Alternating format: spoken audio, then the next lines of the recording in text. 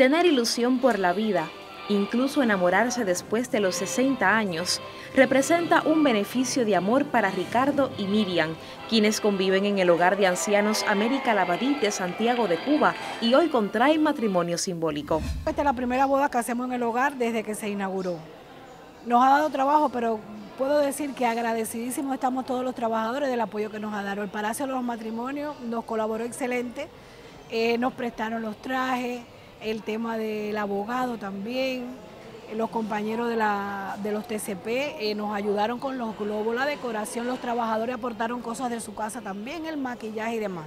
Trajimos cocineros y tenemos también los cantantes, tenemos músicos que, son, que participan en las actividades del Lindo Mar y apoyamos aquí la actividad del, del, hogar para que ellos eh, se sientan con mayor satisfacción, se sientan bien los viejitos dicen mucho que el amor no tiene edad, pero usted sabe cómo es uno, se pone que están muy mayores para estar en eso, que es el enamoramiento, que si, eso es para jóvenes, ve, son tabúes que existen en la sociedad y eso realmente no es totalmente cierto. El momento que tienen para dar y recibir cariño más cerca, aparte del que nosotros podemos brindarle.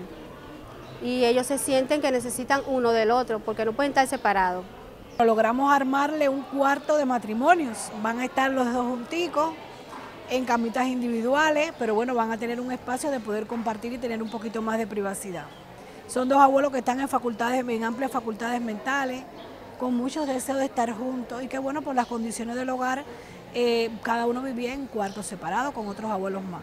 Hemos hecho un esfuerzo extraordinario y lo vamos a tener que estén juntos, es lo que queremos que compartan el poquito que le queda por vivir, que estén por lo menos felices, es lo que nos toca. Nunca es tarde para dar el sí quiero al lado de quienes se aprecian. Miriam, ¿qué es lo que la enamoró de Ricardo? Sus condiciones de hombría, atención principalmente, comprensión, ante todo, que eso es lo principal de un matrimonio.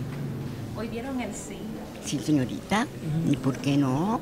Podemos ser un matrimonio felices y tenemos que llevarnos muy bien entre ambos cónyuges. ¿Cuál es el paso siguiente? Seguir los mismos pasos que yo, que llevo en este momento con ella. Atención. Atención con ella. Bueno, mujer. Pues muchas felicidades. Muchas gracias, señorita. Los novios entre ambos suman más de 130 años dorados y comparten la dicha de rodearse de una nueva familia. Así continúan sus vidas y comienzan el trazo de una historia que es para siempre. Joanny Suárez y Nora Ladies Becerril Caballero, Canal Cubano de Noticias.